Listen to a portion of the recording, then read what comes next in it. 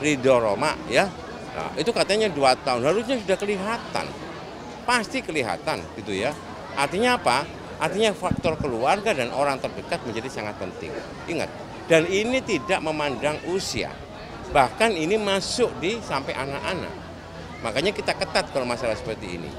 Ya, problem pokoknya adalah sekarang ya kita harus potong distribusi itu supaya tidak masuk Jakarta. Makanya selalu saya gembar-gemborkan untuk mengadakan operasi di lingkungan-lingkungan tertentu. Ya, supaya bandar-bandar narkoba ini tidak bermain. Ya, kalau sampai ketangkap, saya sampaikan segera saja dieksekusi gitu loh. Untuk kapok gitu ya.